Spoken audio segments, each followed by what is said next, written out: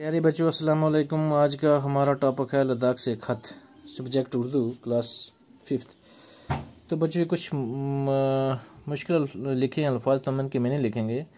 तूलवार्स के मानी हैं बच्चे, बच्चों, फैलाओ। सर परस्त के मानी हैं परवरिश करने वाला।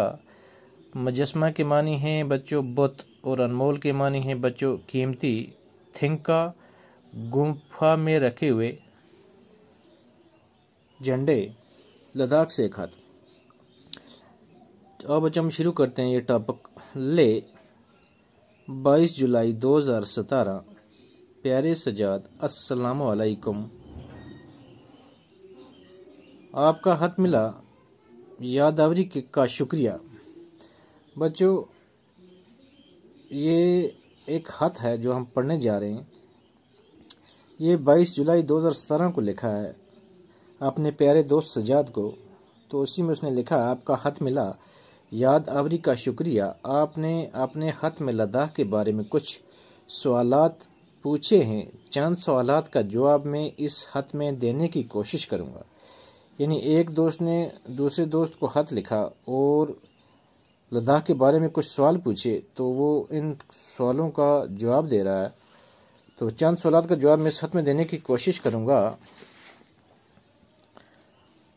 जैसा कि आप जानते हैं, लद्दाख के तूल व अर्ज़ में बौद्ध धर्म का प्रचार करने वालों के लिए जगह जगह हानकाएँ बनाई गई हैं। लद्दाख के लोग इन खानकाओं को गुम्पा कहते हैं। हम इन्हें बुद्ध विहार भी कह सकते हैं। शह, ठेकसाई और हमसाई गुम्पा यहाँ की मशहूर गुम्पा हैं। तो बच्चों, सबसे हम पहले पढ़ेंगे शह, गुम्पा ये गुम्पा ले से 16 किलोमीटर दूर एक पहाड़ी पर वाक़ है, यानी 16 किलोमीटर ले से दूर एक पहाड़ी पे वाक़ है। इसे लद्दाख के मशहूर ख़ानदान राजा देवलदन निम ग्याल ने बनवाया है। राजा देवलदयान निम ग्याल बुद्ध धर्म के मशहूर सरप्रस्त और पैरवेकार थे। शाह गुम्फा दरअसल महात्मा बुद्ध जी का 40 फुट ऊँचा एलिशान मुजस्मा है। तो बच्चों, हमने पढ़ा था यहाँ मुजस्मा के मानी है बुद्ध। तो मुजस्मा है। इस मुजस्मे का सर आठ फुट चौड़ा है।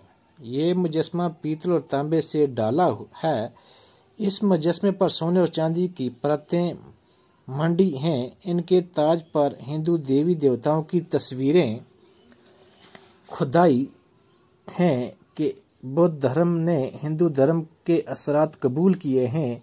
शह में एक मस्जिद भी है। शाह हमदान, मीर सईद अली हमदानी रहमतुल्लाह के साथ मंसूब है। तो बच्चों, हमारा ये आज का टॉपिक यहाँ तक, कल हम इसे आगे शुरू करेंगे। अल्लाह